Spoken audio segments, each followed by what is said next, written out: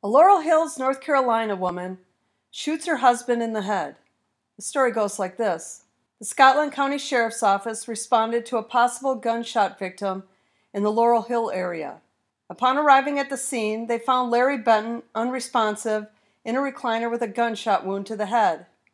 His wife, 61 year old Wendy Benton, was detained, interviewed, and charged initially with assault with a deadly weapon with intent to kill, inflicting serious injury. Larry Benton died the next day, and her charges are expected to be upgraded to murder. Support this channel and pick yourself up some original crime related apparel. Look for the link in the description.